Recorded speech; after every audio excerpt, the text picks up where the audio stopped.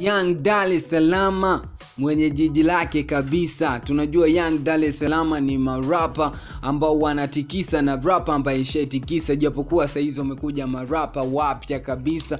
Tunaongelea marapa wapya ambao wakina Young Lunya, wakina Maarifa, basi tunamwongelea Rapture, ndo marapa ambao wanatikisa kwa sasa. Young D ni kitu gani ambacho kimemfanya asitikise kwa sasa? Iza labda ni ukimya wake au mambo yake ya familia na mambo ya business. kumba mi nikwambie, usisahau kubonyeza bata nyekundu iliyoandikwa subscribe chini video hii, pia nakutana notification baada ya kengele kuja. Ishaboy hapa Masesi Online TV na kuletea update kali kila siku. Unazidi kuwa mjanja na unazidi kuwateka wanao wa, wa mtaani na wanazidi kuwa wajanja yeah. Today tunamwongelea Young D, Young Dar es Ngadu, Janta yeah.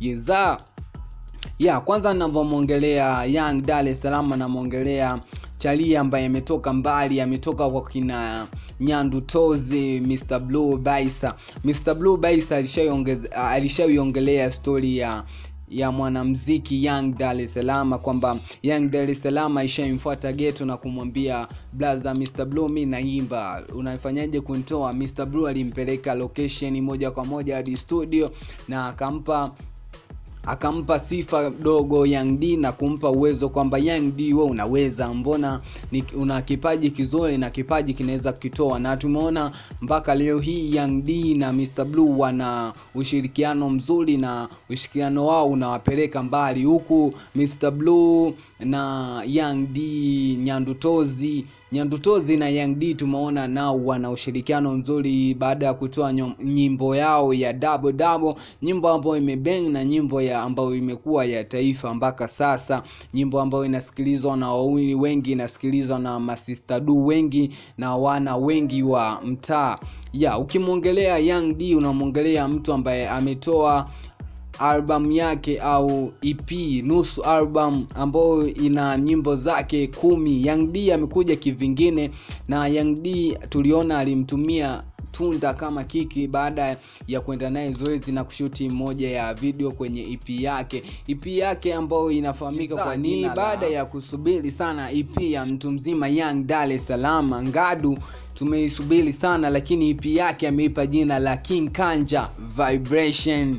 Ni EP ambayo imejaa ngoma nyingi na tumeona moja ya wakali ambao wapo. Ngoma ya kwanza namba moja ni Different Vibration ambao amemshirikisha mtu mzima Nyandu Tozi, Tozi la Matozi, Tozi Sela.